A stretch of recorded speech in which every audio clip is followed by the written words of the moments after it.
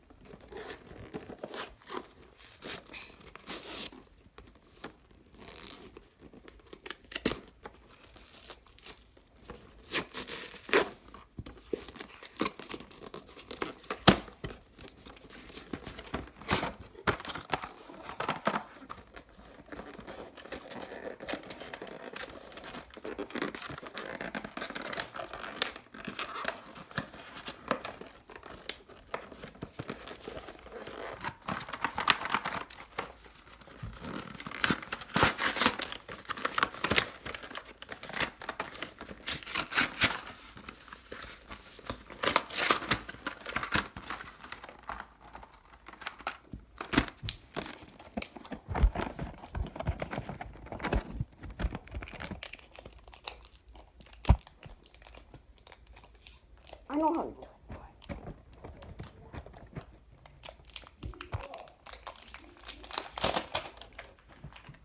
Oh wow, new